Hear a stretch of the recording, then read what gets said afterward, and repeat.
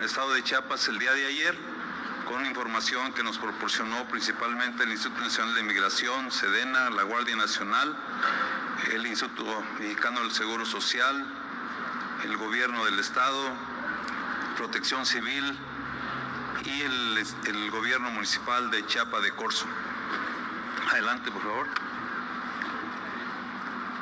El día de ayer, aproximadamente a las 15.30 horas, se reportó la volcadura de un tráiler que transportaba migrantes, esto en el kilómetro 9 de la carretera Tuzla a Chiapa de Corzo, es en la salida de una curva y en esa, a la salida de esa curva se encuentra un puente peatonal en el cual se estrelló el, el tráiler.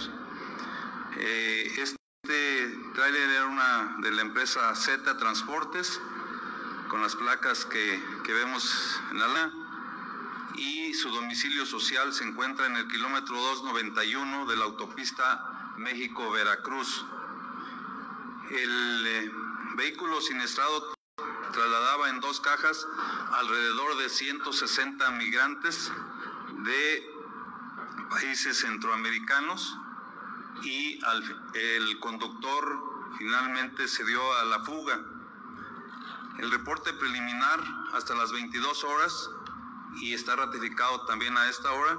Se trata de 54 personas migrantes fallecidas y 105 lesionados. Los lesionados fueron trasladados vía terrestre y aérea en diferentes unidades médicas a diversas instituciones de salud, tanto en Tuxtla Gutiérrez como en Chiapa de Corzo.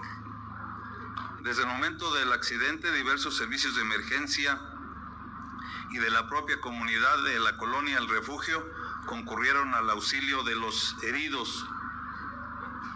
Las diversas instancias que acudieron al lugar del, accidente fueron servidores públicos del gobierno del Estado, del Instituto Nacional de Migración, de la Guardia Nacional, del IMSS, de Protección Civil de Chiapas, Protección Civil de Chiapas de Corzo, de la Cruz Roja, Rescate Urbano, Policía Estatal, Bomberos, Tránsito Municipal y ERUM.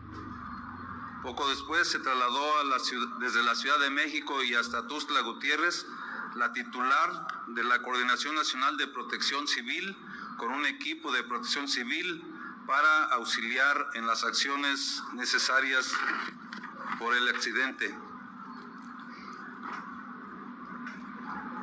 Según testimonios de los propios migrantes, eh, ellos ingresaron desde varios días antes por la frontera México-Guatemala, principalmente por la Mesilla, y se fueron concentrando en la ciudad de San Cristóbal de las Casas, en varias casas de seguridad, en las cuales los, los alojaron o los tuvieron personas dedicadas al tráfico de personas. Después, el día de ayer los subieron a las cajas de del tráiler y a las 14 horas más o menos iniciaron su movimiento. Por eso también aquí es importante recalcar que este vehículo no había cruzado ninguno de los puestos de revisión que se tiene para rescate de migrantes. Posteriormente, ya cerca de las 17 horas, la Fiscalía Estatal tomó conocimiento de los hechos e inició la carpeta de investigación por delito de homicidio contra quien resulte responsable. La Fiscalía General de la República dio a conocer que va a traer el caso. Algunas de las acciones realizadas es, eh, fue una permanente coordinación entre autoridades del nivel federal, estatal y municipal. Se brindó aten atención médica a los migrantes heridos y sus familias. Se proporcionó servicios consulares para, para trámites de repatriación, apoyo con servicios funerarios, se proporcionó hospedaje y alimentación con apoyo del Instituto Nacional de Migración a los migrantes que están a salvo. A los migrantes ilesos se les otorga, se les otorgará visa, perdón, tarjeta por razones humanitarias para estar en el país regularmente y transitar y autorización para trabajar.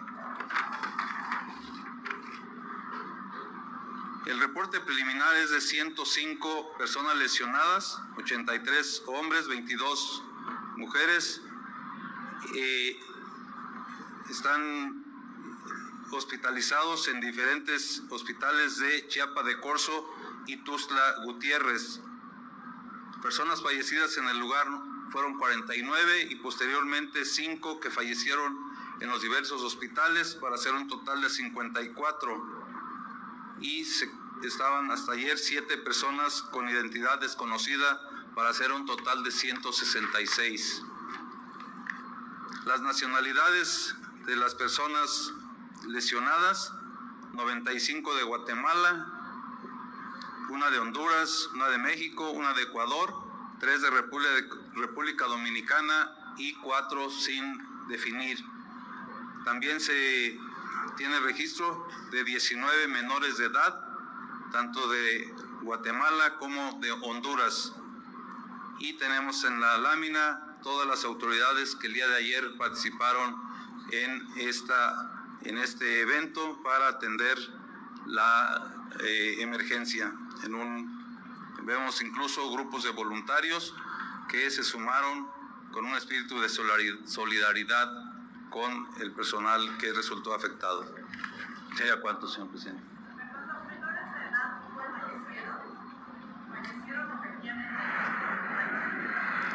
Los menores de edad todos son de las personas que están en hospitales.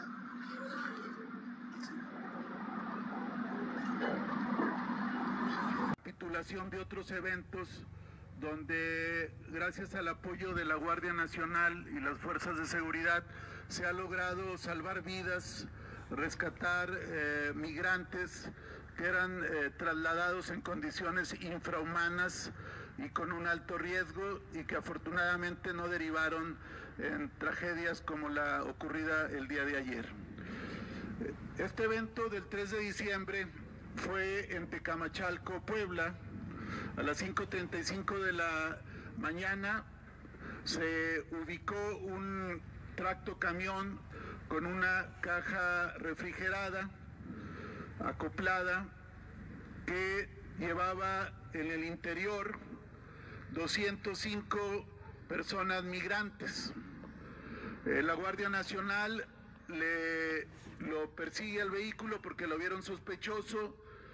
El vehículo se para, el chofer se da a la fuga y un sujeto que iba escoltando la unidad trata de sobornar elementos de la guardia. Ahí lo agarran en flagrancia y al abrir la caja, siguiente, Siguiente, por favor. Se puede ubicar que era una caja semirremolque totalmente eh, adaptada, con hileras para ventiladores, estructura tubular y depósitos de agua, toda una infraestructura para el tráfico migrante. Aquí es importante señalarlo porque este evento que fue el 3 de diciembre era un traslado eh, de Veracruz a Tamaulipas pasando por Puebla.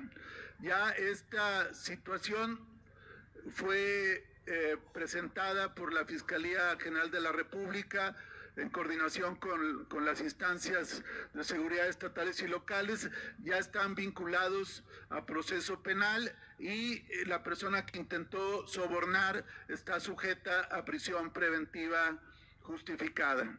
Siguiente.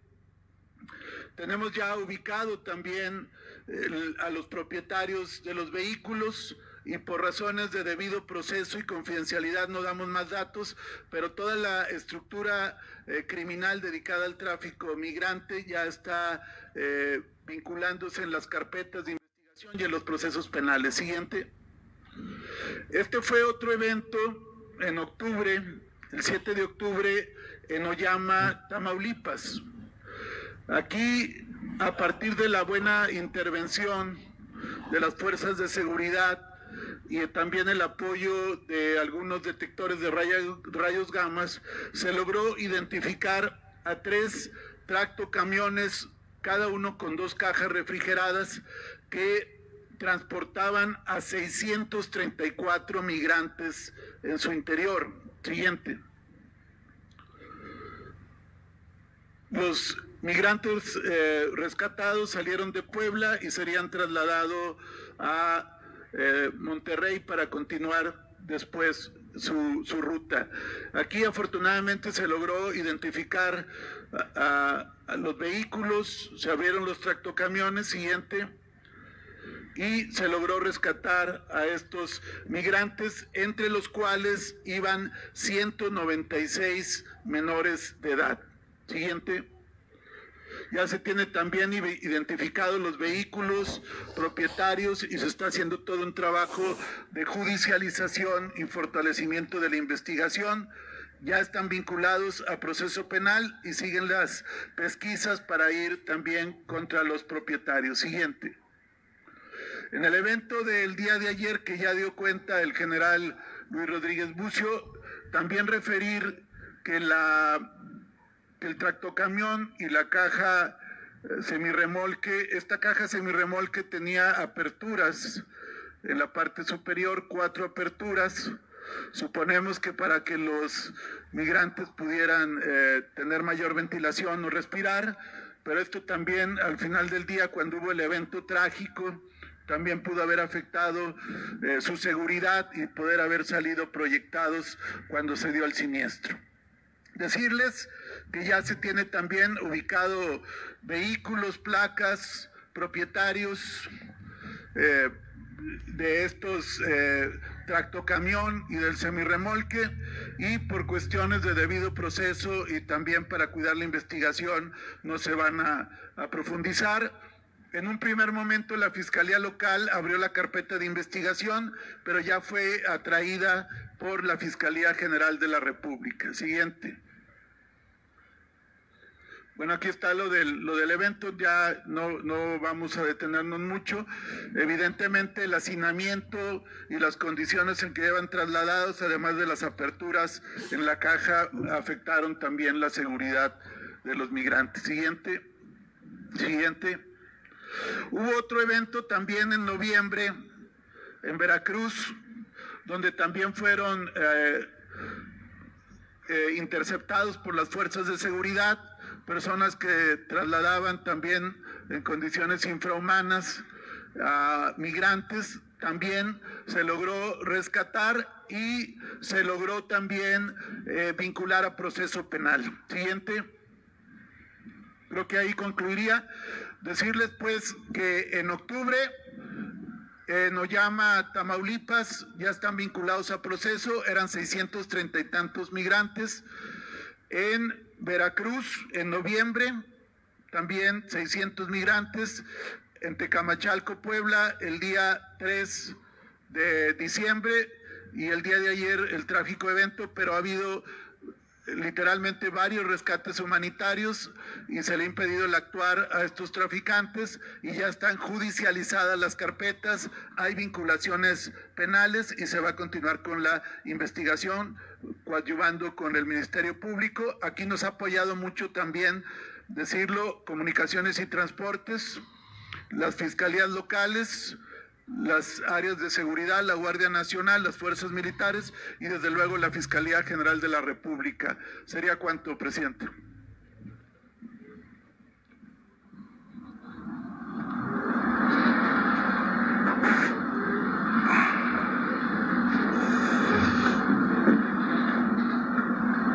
Gracias, presidente. Buenos días, Dalila Escobar de Atiempo.tv.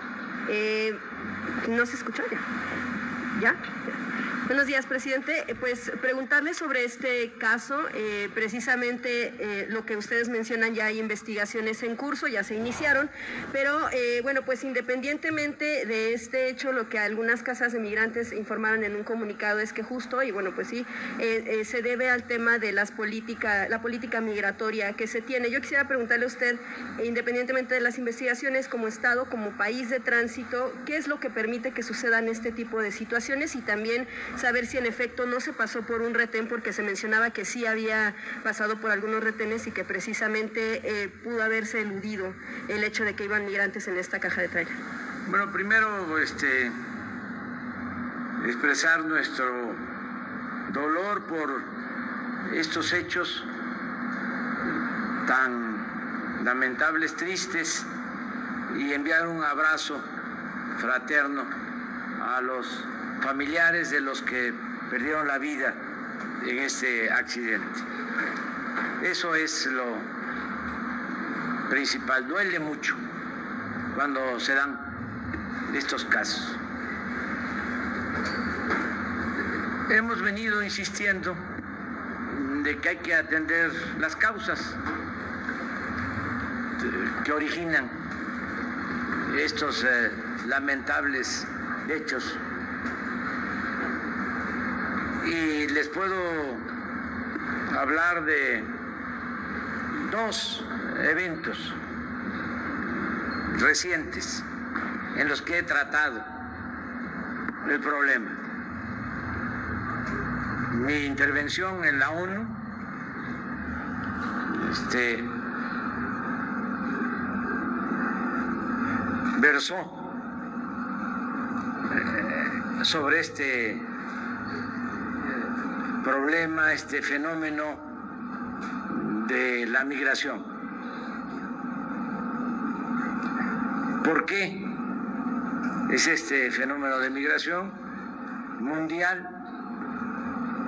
Bueno, porque impera la corrupción en el mundo y hay una monstruosa desigualdad económica y social.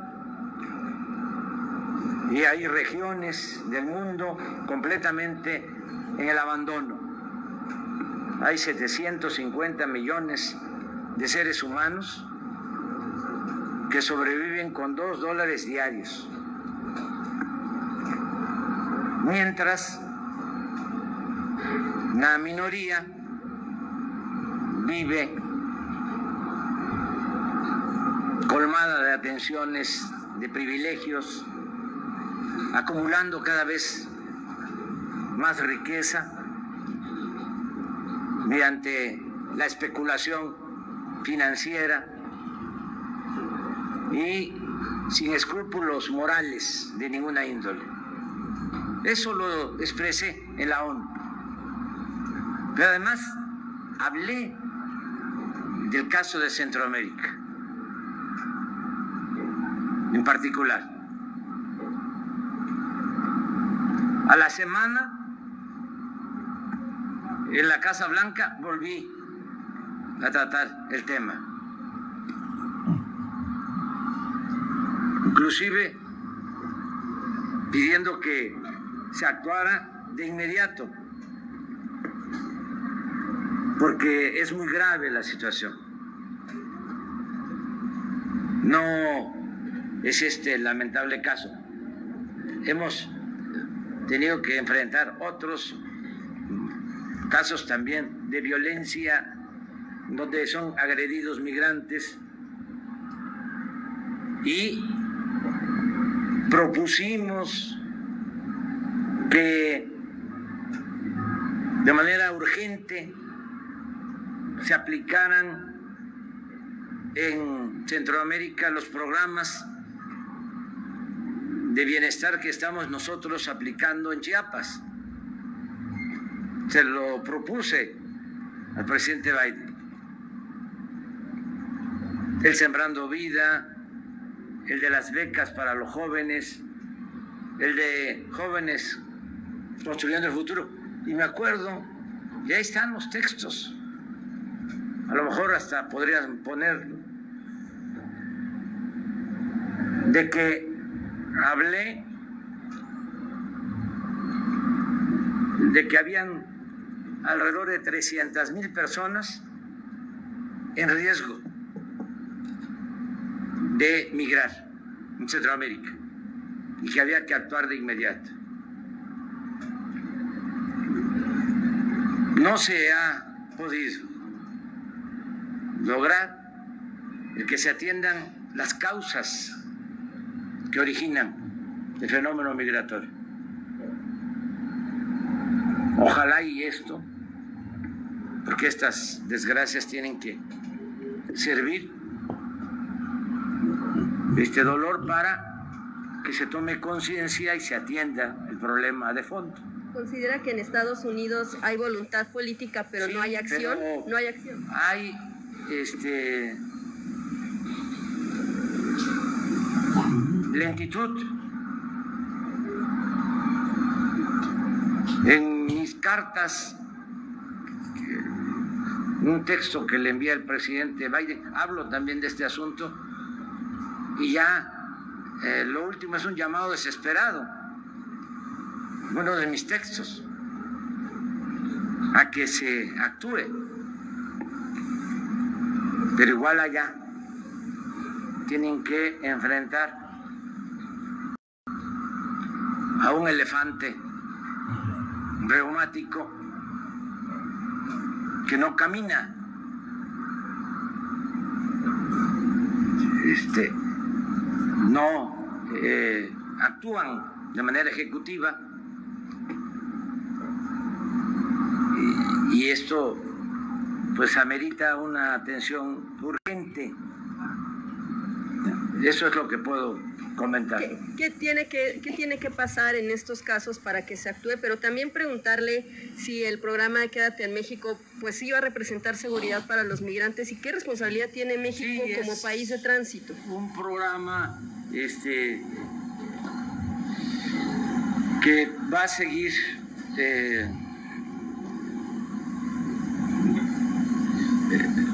permitiendo que cuidemos nosotros a los migrantes y lo vamos a seguir haciendo. Pero estamos hablando de flujos migratorios de miles de personas. Entonces, hay que atender el problema en las comunidades de origen, que la gente no se vea obligada a emigrar. Esa es la mejor opción. Y lo otro, que también se los planteé, tanto al presidente Biden como al primer ministro Trudeau, desde que se acepte una realidad. Se requiere, tanto en Estados Unidos como en Canadá, fuerza de trabajo. No tienen mano de obra.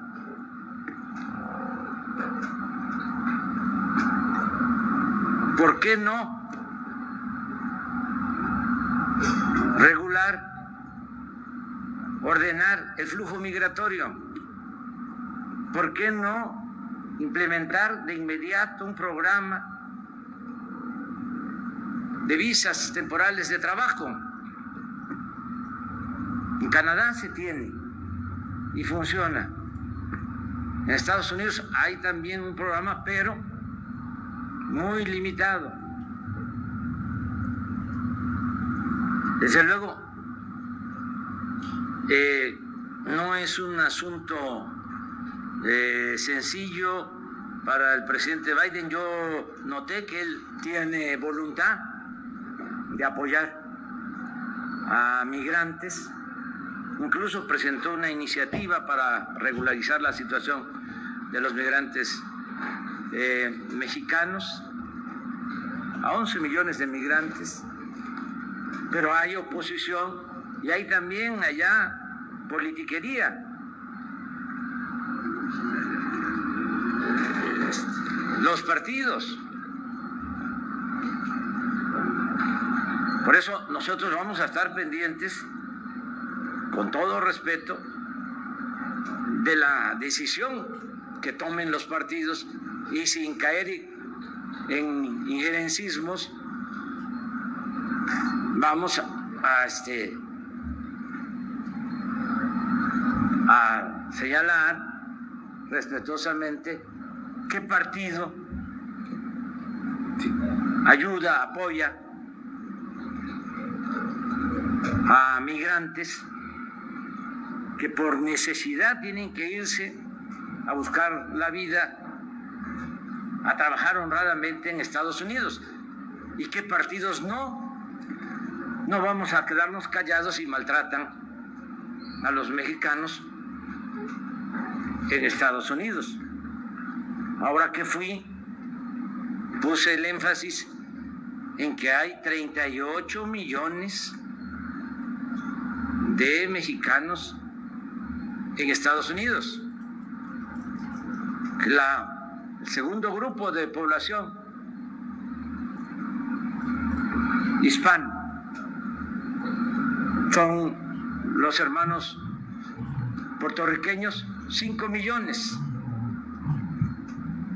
Pero los mexicanos son 38 millones. Y la comunidad cubana, los hermanos cubanos, que tienen mucha influencia en Estados Unidos, son 4 millones. ¿Y por qué el maltrato a los 38 millones de mexicanos? Y no solo hablamos por los mexicanos, hablamos por todos los migrantes.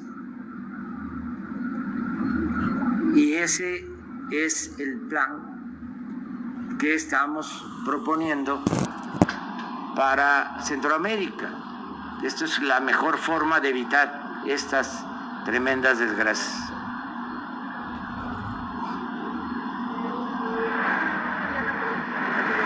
¿Mande? No, este, al contrario, vamos a seguir insistiendo en que el problema migratorio no se resuelve con medidas coercitivas, sino que tienen que darse oportunidades de trabajo, de bienestar a los migrantes, porque la gente no sale de sus pueblos por gusto, lo hace por necesidad. Entonces, ¿qué es lo que hay que hacer en Guatemala? ¿Qué es lo que hay que hacer en Honduras? ¿En El Salvador? Pues invertir, impulsar el desarrollo, que haya programas de bienestar. Nosotros en Chiapas, que eso se los planteé a las autoridades de Estados Unidos, se los he dicho muchas veces, tenemos 80 mil sembradores trabajando en 200 mil hectáreas, sembrando árboles frutales, maderables. Pues eh, es pasar ese programa a Guatemala, a Honduras, El Salvador. Son las mismas condiciones de medio ambiente,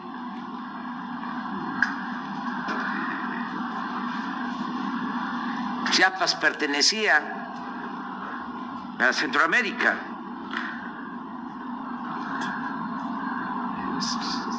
Es la misma cultura o las mismas culturas, no hay diferencias. Lo mismo en Chiapas, el programa de jóvenes construyendo el futuro le da trabajo a 30 mil jóvenes. Eso mismo, hacerlo en Guatemala, hacerlo en Honduras, hacerlo en El Salvador. Nosotros ya estamos ayudando en los países centroamericanos, pero desde luego no es suficiente. Estamos nosotros entregando becas y apoyando en Centroamérica, pero se requiere un programa eh, de urgencia para evitar que la gente eh, tenga que emigrar y además pues eh, quitarles este, a los traficantes de personas ese negocio inhumano que llevan a cabo. Todos los que se dedican a enganchar este, a migrantes, estos transportistas, pero hay que atender las causas. Eso es lo que puedo. Gracias, presidente. En un segundo tema, bueno, pues usted ha hablado en varias ocasiones de que, pues, en anteriores administraciones había las empresas consentidas. Esto, eh, pues